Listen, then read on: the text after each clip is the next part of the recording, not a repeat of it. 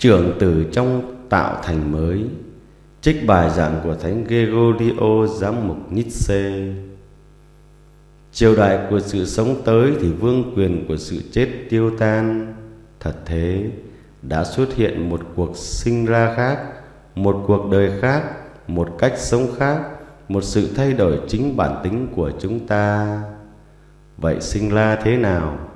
Sinh ra không phải do khí huyết cũng chẳng do ước muốn của nhục thể, hoặc do ước muốn của người đàn ông, nhưng do bởi thiên chúa. Có khi bạn còn hỏi, việc đó xảy ra cho ai? Tôi xin giải thích vắn tắt cho bạn nghe. Ở đây, bào thai được cưu mang nhờ đức tin, được đưa ra ánh sáng nhờ phép lửa tái sinh, được hội thánh làm mẹ dùng lời giảng huấn và luật lệ mà dưỡng nuôi bú mớm lương thực là bánh bởi trời, tuổi trưởng thành là tác phong hoàn hảo. Hôn phối là chung sống với đức khôn ngoan. Con cháu là niềm hy vọng, nhà cửa là nước trời. Gia tài và sản nghiệp là hạnh phúc thiên đàng. Chung kiếp không phải là cái chết, nhưng là cuộc sống vĩnh cửu chứa chan hạnh phúc. Chúa đã dọn sẵn cho những ai xứng đáng. Đây là ngày chúa đã làm ra khác xa với những ngày đã được thiết lập từ thuở khai thiên lập địa, là những ngày vẫn trôi theo dòng thời gian. Còn ngày này là khởi đầu một cuộc sáng tạo khác. Quả vậy, trong ngày này, thiên chúa đã làm ra trời mới, đất mới như vị ngôn sứ nói.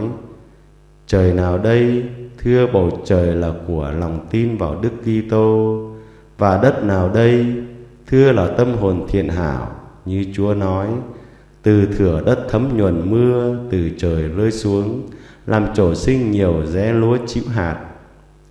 Trong cuộc sáng tạo này, mặt trời là đời sống trong sạch, tinh tú là các nhân đức, khí trời là cách ăn nết ở quang minh chính đại, biển khơi là sự giàu có khôn ngoan. Thông biết sâu thẳm, cỏ xanh và mầm non là giáo lý lành mạnh và lời chúa dạy mà dân được chăn dắt, tức là đàn chiên của thiên chúa lấy đó làm của ăn nuôi dưỡng mình. Còn cây mang trái là việc tuân giữ các mệnh lệnh của chúa. Trong ngày này, con người đích thực được sáng tạo giống hình ảnh thiên chúa. Bạn không thấy câu, đây là ngày chúa đã làm ra, không phải là khởi đầu một thế giới mới hay sao? Ngày đó chẳng phải là ngày vị ngôn sứ bảo là không giống những ngày khác cũng không phải là đêm như những đêm khác hay sao. Nhưng điều lạ lùng nhất trong ngày hồng phúc ấy, chúng tôi lại chưa giải nghĩa. Đây là ngày làm tiêu tan mọi nỗi đau đớn do cái chết gây ra.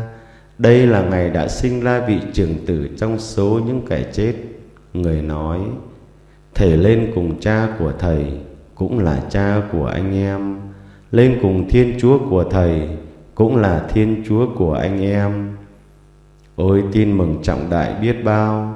Đấng vốn là con một thiên chúa, mà đã làm người vì chúng ta, nên đã làm cho chúng ta thành anh em của mình. Người đã đưa con người của mình lên cùng cha đích thật, để lôi kéo họ hàng thân thích của mình lên theo.